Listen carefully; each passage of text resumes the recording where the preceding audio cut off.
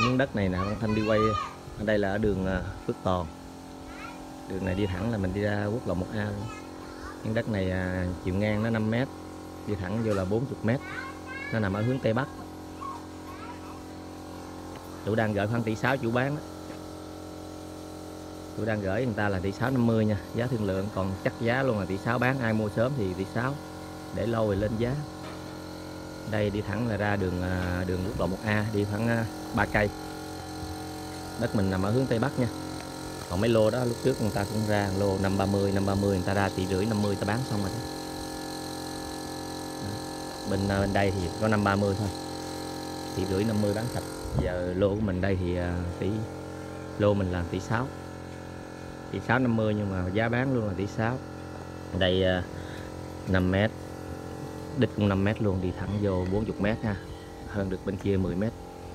Còn ở đó là bốn công đất lúa của cô năm của Văn Thanh đó bốn công đất lúa một công là 2 tỷ 6 nha không có bớt bốn công đất lúa đó, đó lúc trước có quay hoài luôn. Đường này đường à, xe 10 tấn xe 10 tấn. Đi qua tới 1A là ba cây số đất mình nằm hướng tây bắc nha từ ba cây số 1A nó đi thẳng lên chợ Bình Chánh là năm cây số nữa, nhưng tính từ đây. Từ đây mà bà con đi lên tới chợ Bình Chánh của mình đó là 8 cây số. Ở đây đi là hồi đi ra à, 835C đây là 835C khoảng à, hai cây số tới. Ở bên kia là Phước Lợi đó. Phước Lợi rồi cầu Hòa Đất chợ Phước Vân. Rồi Văn Thanh đọc số ha, bà con mình à, lưu lại nha. 078 666 8368 Văn Thanh đọc lại nha. 078 666 8368 đó là Zalo Viber luôn nha. Thì mình so sánh là quay cái này để cho bà con so sánh nè. 530 1 tỷ rưỡi 50 đã bán rồi hết rồi. 530 ha tỷ rưỡi 50 bán hết. Còn của mình là 540 hơn được 10 mét. Mà 1 tỷ 6 thôi chênh là có 50 triệu nha.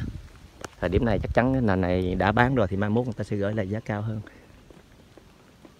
Rồi à, ừ quên báo giá à, quên báo địa địa địa thế nha. Đây là đây là đường đường nhựa này là đường, tên là đường Phước Toàn.